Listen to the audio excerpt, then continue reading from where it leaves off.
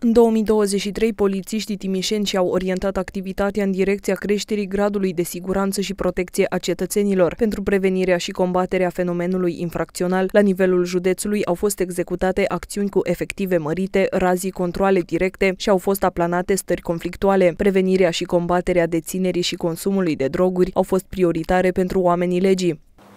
Prevenirea, deținerea, traficului și consumul de droguri a fost una dintre activitățile principale în anul 2023, fiind desfășurate 2821 de activități de control, prilej cu care au fost constatate 89 de cazuri de deținere de substanțe care fac parte din categoria celor psihoactive, infracțiuni aflate sub incidența legii 143 din 2000 privind prevenirea și combaterea traficului și consumului ilicit de droguri.